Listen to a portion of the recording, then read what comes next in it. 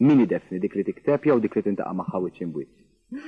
M'iniex bniedma rrabjata xejn, fil-fatt bniedma kuntenta ħafna, imma dak li għandi, la nħobb nikteb, meta nkun irrabjata fuq xi ħaġa, nikteb dwar tali suġġett. Għandi dak l-isfog. Kont San Ġiljan fil-kamra tiegħi. Ma niftakarx jekk hux fuq il-mobile jew fuq il-kompjuter u bdew deħlin il-breaking news fuq il-portals kollha.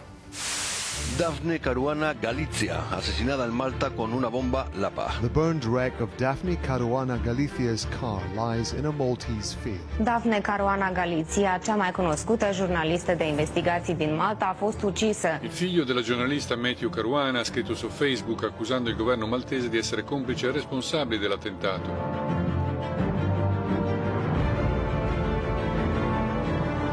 Migliaia di persone in strada con lumini e candele per stringersi attorno alla famiglia e rendere omaggio al coraggio di Daphne Caruana Galizia.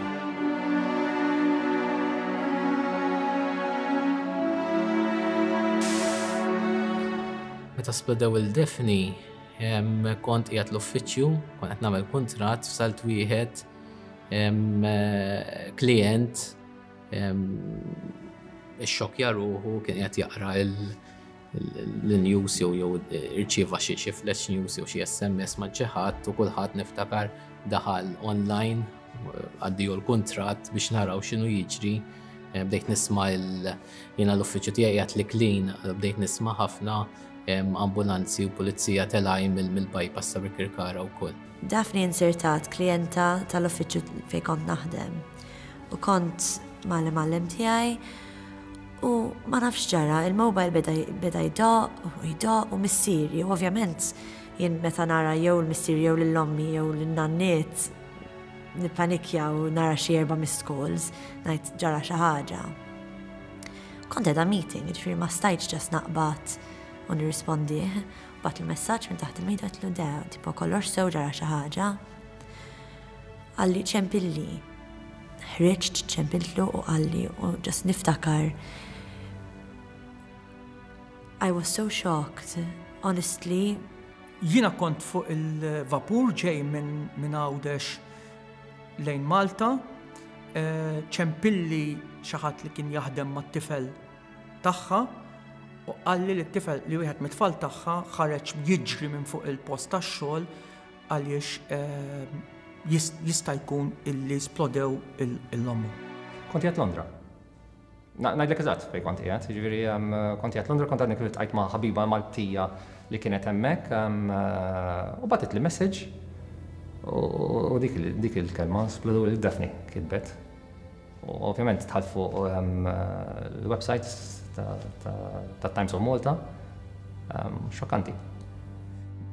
Ħassejt xokk ma' ġismi kollu għaliex Qatt ma bsart li pajjiżna jista' jasal għal dik is-sitwazzjoni. Illi waħda minn uliedu, waħda miċ-ċittadini tiegħu tiġi sploduta sempliċiment għax kienet qed tagħmel dmirha li tikteb u titkellem fuq dak li kien għaddej fil-pajjiż, li tikteb u titkellem fuq il-korruzzjoni li kienet għaddejja. Dispjaċin ħafna U ddispjaċini ħafna għax meta kont Ministru jiena kont kont deċiż illi hi kollha s-sigurtà kontinwament magħha. U kienet għalija ħaġa punt illi bħala Ministru tal-Intern irrid niggarantixxi fis-soċjetà demokratika li l-vuċijiet kollha jingħadu. Anki vuċijiet li huma skomdi, u allura vuċijiet li huma skomdi bħal tagħha riedu jiġu protetti. Kien ċar li dal-qtil kellu l-barka tal-Gvern u kien qed iseħħ minħabba l-impunità li l-Gvern ġab f'dan il-pajjiż, li Gvern Laburista ġab f'dan il-pajjiż.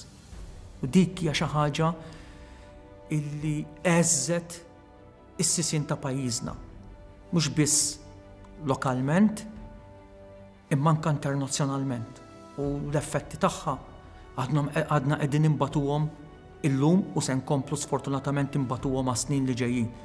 Huwa biss il-Partit Nazzjonalista fil-Gvern li jista' jerġa' jibda ftit ftit isewwi il-ħsara enormi li saret mill-qtil bil-qtil ta' Daphne Caruana Galizia u bl-azzjonijiet oxxeni li ttieħdu matul dawn l-aħħar disa' snin. Ftit ilu konna nafu kif kienet x'kien imħabbar li kien se joħroġ ir-rapport tal-inkjesta sewwa. Kien hemm grupp fil-partit li għedna niltaqgħu kulħadd jieħu qisu l-biċċa tiegħu ħalli nippreparaw in-noti kif isir normalment ħalli mbagħad il-Kap ikun jista' jagħmel id-diskors. U jiena ġietni il-parti tal-rapport fejn il- L-inkjesta kkonkludiet li kien hemm responsabilità ċara kollettiva tal-Kabinett kollu.